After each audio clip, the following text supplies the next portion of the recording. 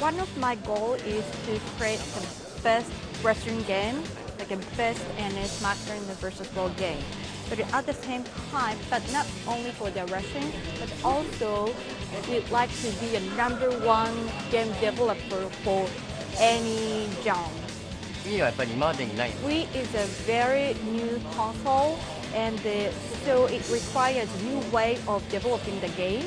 So even if we create the animation system and a basic gameplay gameplay system, until we actually play, it will never know that if that is fun or not. We have a lot of feature in SmackDown versus versus Raw 2009, and uh, this game, and uh, I'm sure that a lot of players can have a very good time at playing our game. And uh, one of the new feature of the SVR 09 is Road to WrestleMania mode.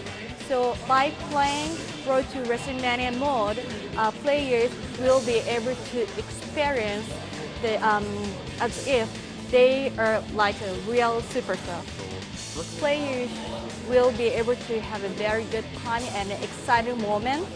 And but please make sure not to uh, please make sure not to get too excited because because if you get too excited, you may hit your friend or family by mistake. So please be careful.